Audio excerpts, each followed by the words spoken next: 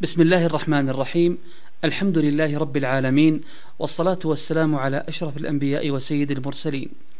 من أبواب الإعراب بالنيابة الأسماء الستة. وهي ستة أسماء في اللغة العربية محدودة نعدها الآن. الاسم الأول قالوا أبو.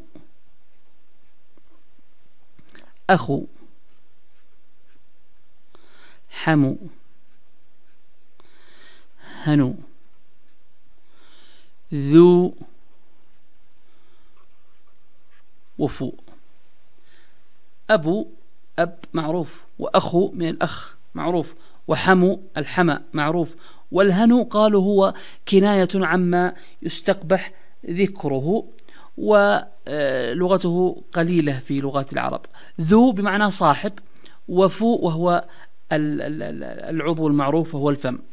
هذا هو تعداد لهذه الأسماء. هناك إعراب لها فهي تعرب على خلاف الأصل إذ تخرج من علامات الإعراب الأصلية إلى علامات الإعراب الفرعية كما هو الحال في أبواب هذا أو هذه الوحدة كاملة. ترفع هذه الأسماء بالواو. تنصب بالألف.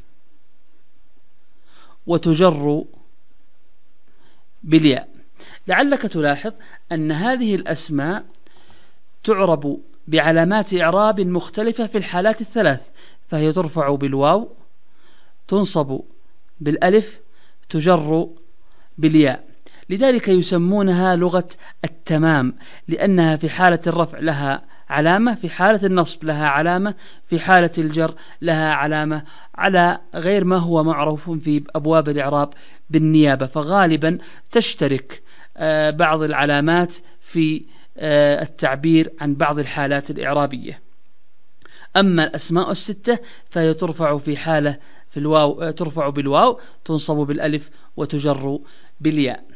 هناك شروط رآها العلماء حتى تعرب هذه الكلمات بالحروف حتى تعرب بالحروف برفع بواو ونصب بألف وجر بياء لا بد من شروط. أول هذه الشروط قالوا أن تكون مفردة فالتثنية والجمع لا تدخل في هذه الحالة. بمعنى إذا ثنيت أعربت إعراب المثنى لا بد أن تدل على مفرد على أب واحد على أخ واحد وهكذا. إذا الإفراد وهو ما يقابل التثنية والجمع. الأمر الثاني قالوا أن تكون غير مصغرة. غير مصغرة يعني تكون مكبرة على صيغتها الموجودة آه، حاليا. يعني بمعنى أبي أو خي هذه لا يمكن أن تعرب بهذه آه، الحروف.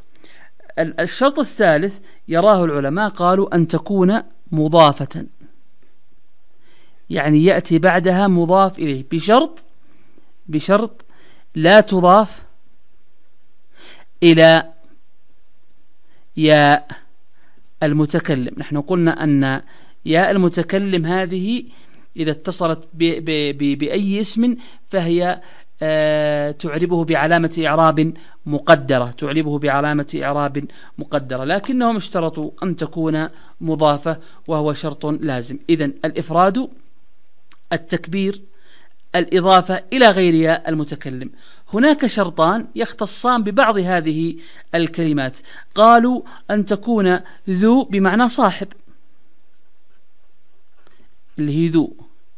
هذا خاص بذو. طبعا ذو قد تستخدم في بعض اللغات آه اسم موصول وربما استخدمت اسم آه استخدمت غير ذلك. اسم موصول مثلا كقول بعض العرب وبئري ذو حفرت وذو طويت. ذو حفرت وذو طويت والمقصود التي حفرت والتي طويت ليست هي المقصودة. المقصود ذو التي بمعنى صاحب. أما فو وهو العضو في جسم الإنسان اللي هو الفم فلا بد أن تكون من غير ميم. من غير ميم. يعني لا تأتي فم. فم لا تعرب هذا الإعراب. لا بد أن تكون بالواو. لا بد أن تكون بالواو. نأخذ أمثلة على هذه الكلمات حتى يتضح المقال بإذن الله تعالى.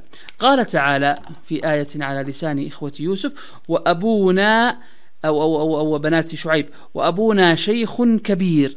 أبونا. لاحظ معي أنها جاءت بالواو. لأنه مبتدأ مرفوع وعلامة رفعه رفعه الواو لأنه من الأسماء الستة وشيخ خبر. لاحظ معي في قول الله تعالى في الآية الأخرى إن أبانا إن أبانا. هنا اسم إن منصوب وعلامة نصبه الألف فجاءت أبانا هنا منصوبة بالألف.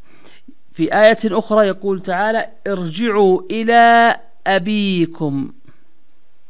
أبيكم. لماذا جاءت أبيكم؟ هنا عندي إلى حرف جر وجاء آه، جاءت آه، أبي بالياء لأنها أو لأن الاسم وقع مجرور وعلامة الجر هي الكسرة كما تعلمنا. هناك بعض الآيات لكن الله ذو فضل ذو فضل. هنا اسم لكن أو خبر لكن مرفوع. هذا اسمها لكن الله ذو فضل على العالمين. هذا اسمها اسم لكن اللي من أخوات آه، إن منصوب وعلامة نصبه الفتحة. خبرها مرفوع لاحظ معي في الرفع جاء بالواو. ولاحظ هنا الإضافة موجودة ومتوفرة. إذا يعرب بالحروف. نقول في لهجة لا فض لا فض فوك. هذا آه، فعل بني المجهول وهذا نائب فاعل مرفوع علامة رفعه الواو لأنه لأنه من الأسماء الستة. إلا كباسط كفيه إلى الماء ليبلغ فاه. لاحظ معي فاه هنا منصوبة لأنها مفعول به. نصب بإيش؟ نصب بالألف. ولو كان مجرور لقلت فيه ولو كان مرفوع كما هنا لقلنا فوه. إذا والإضافة هنا متوفرة الإضافة هنا متوفرة.